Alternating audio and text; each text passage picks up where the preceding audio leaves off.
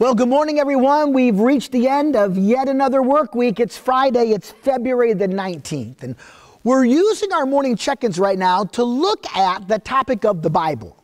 We've already seen the Bible's unique, we've seen the Bible's inspired, we've seen that the Bible is profitable. Now, today we see that the Bible is sufficient.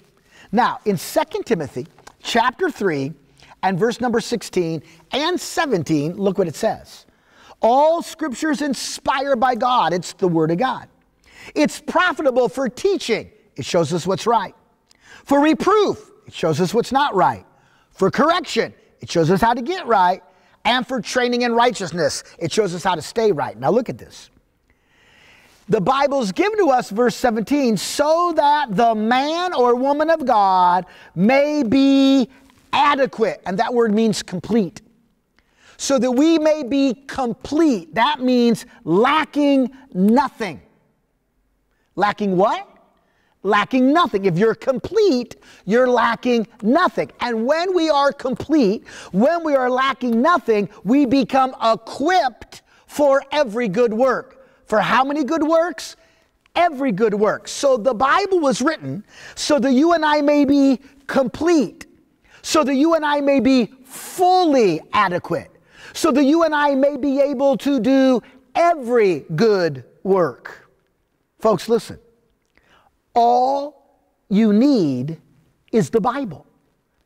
The Bible contains everything God wants you to know to do everything God wants you to do. You don't need some mystical experience. You don't need to hear an audible voice. You don't need to have a vision or a dream. The Bible contains everything God wants you to know. And folks, listen, if God is giving new revelation through another means, then the Bible isn't enough. The Bible is unique. The Bible is inspired, the Bible is profitable, and the Bible is sufficient.